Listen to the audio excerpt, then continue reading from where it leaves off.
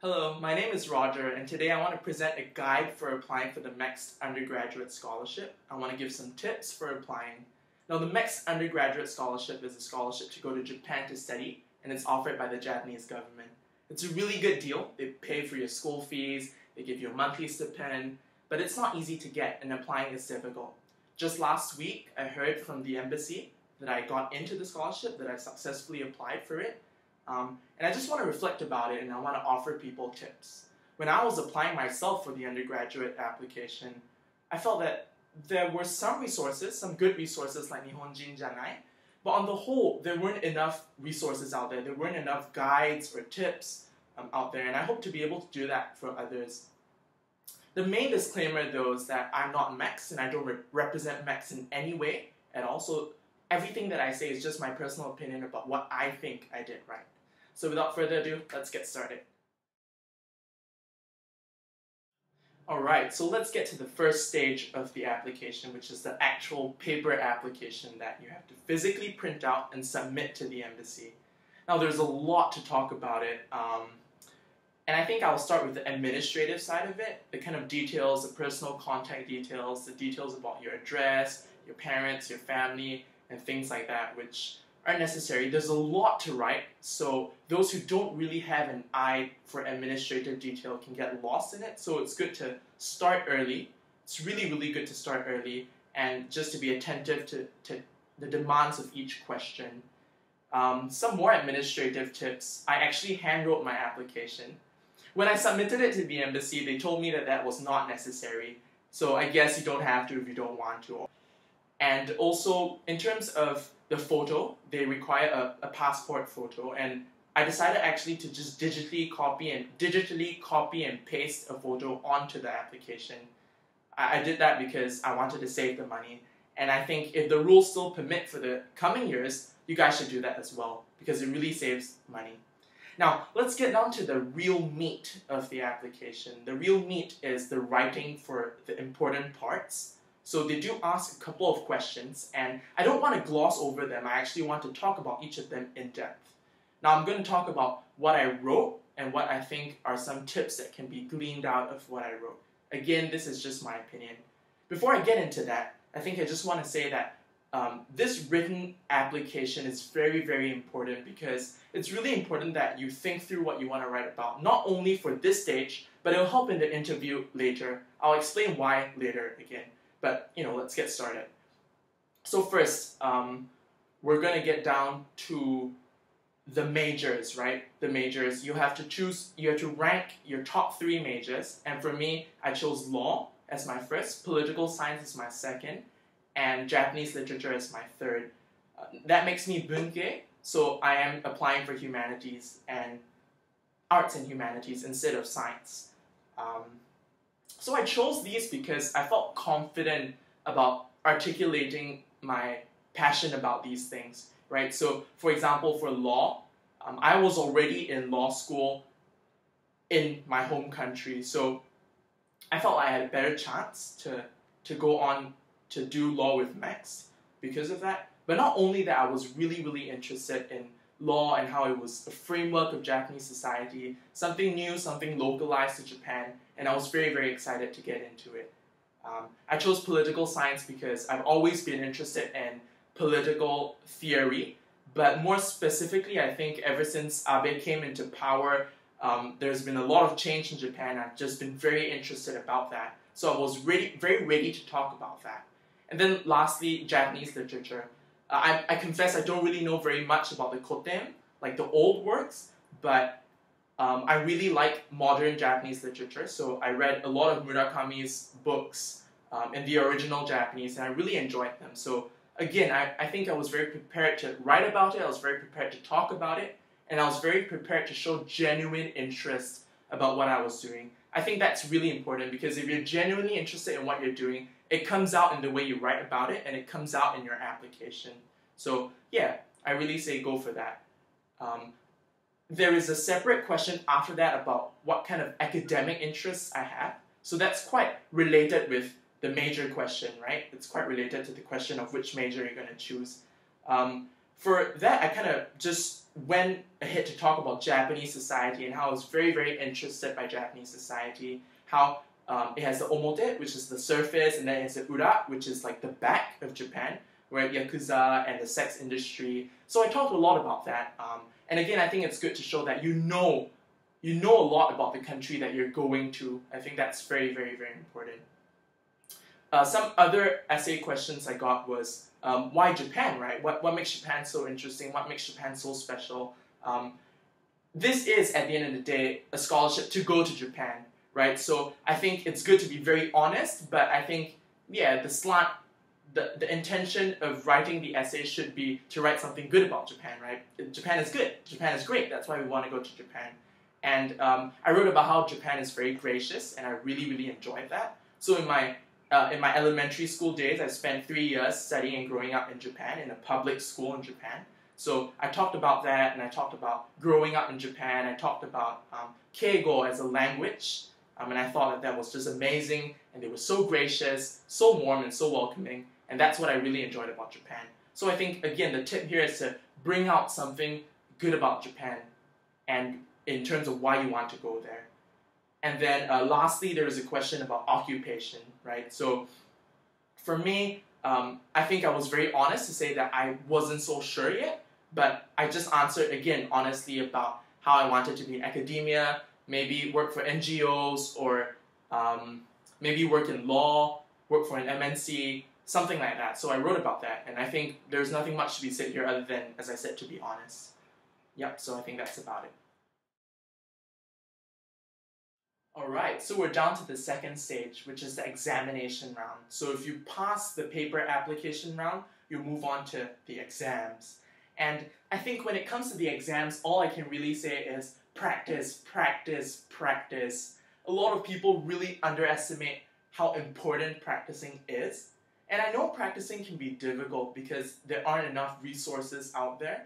Uh, I see always, all the time on Facebook, people asking for links to the paper and um, questions about where they can find the papers and everything. Um, I was pretty lucky because I found an archived website with with um, the papers all the way up from 08 to 2011, and then you can find the papers from 2011 onwards in the JASSO website. So um, all these websites are going to be in the description box down below, so please do check it out. You'll have about five to six years worth of papers to practice on. So please keep practicing, keep practicing, keep trying the questions. I'm going to talk about each of the subjects and how um, I practiced for them and how they turned out the actual day. And then I'm going to talk about some of my theories about how important the exams are. So, firstly, English. I'm not going to talk very much about this. Um, English is my first language. I didn't practice any papers because I thought that it wouldn't be too difficult. And as I guess on the day itself, it really wasn't that difficult. Um, and it, English, if English is your first language, then I really don't think it's going to be a problem. Um, if it's not, try out the papers, keep working at it. It should be fine.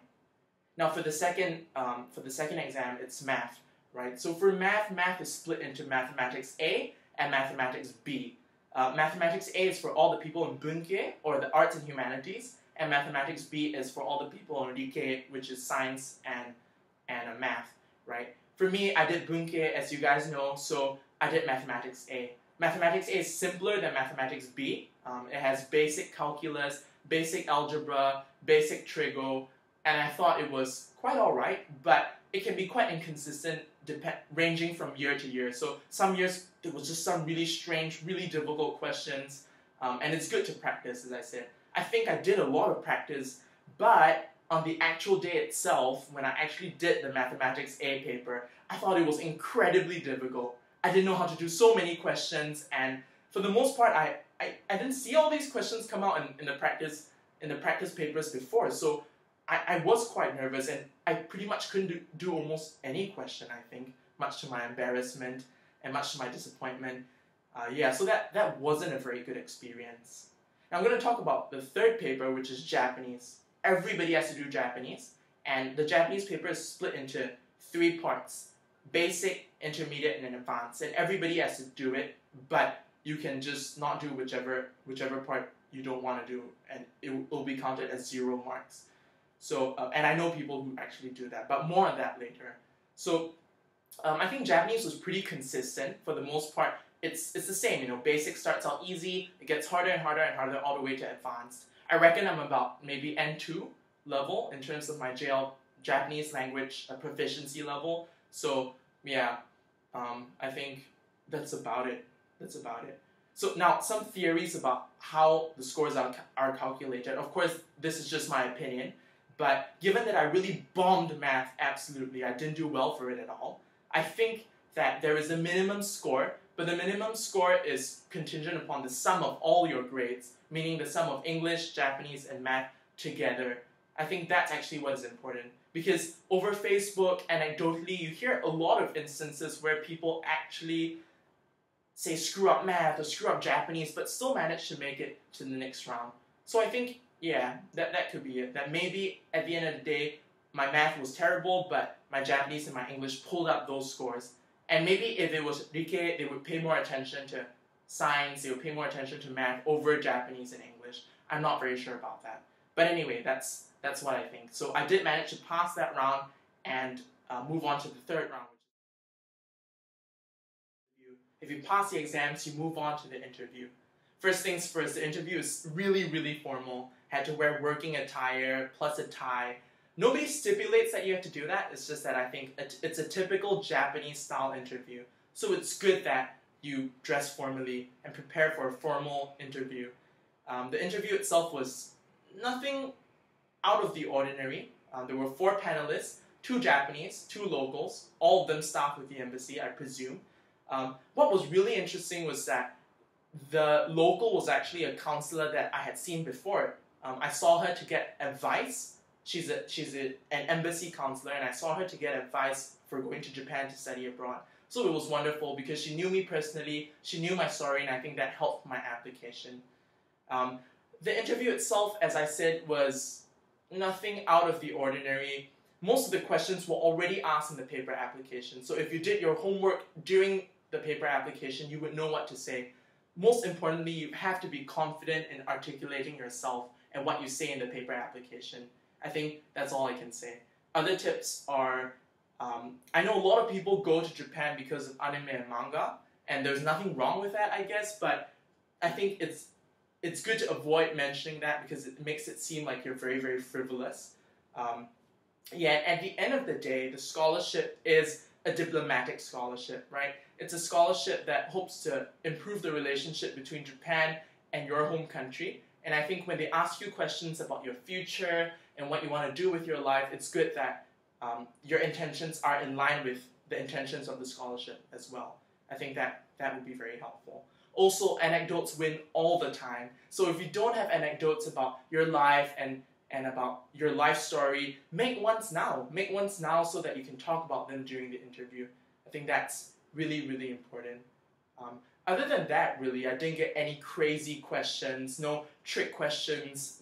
This was a very normal, ordinary interview. They asked me questions about uh, the extracurriculars I did, the clubs and activities I participated in in high school. They asked me about community service, which was quite interesting because it seemed like that was a very American college thing, but it seems like they did ask a lot about um, the kind of community service and volunteer work that I did. So I answered accordingly. So make sure you have some of these things to talk about.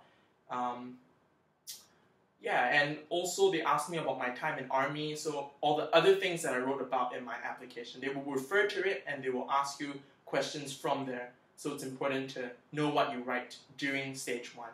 I think that's about it for the interview.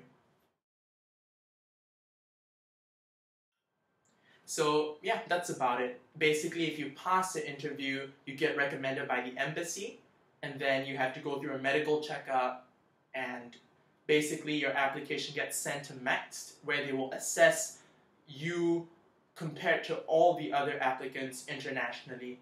And if you get selected, then you will hear back from the embassy again in December. So it's a pretty long wait between the interview and then the medical checkup and then getting the final notification. And some people make it, some people don't make it. Um, but yeah, I think this is all I have to share, all the tips and tips for the application that I have. I'm really, really keen on sharing more with anybody who's interested or any applicant Um, I'm willing to share more about my essays or any part about the application process if you're interested. So do drop me a message, and um, I hope you enjoyed this. Thank you.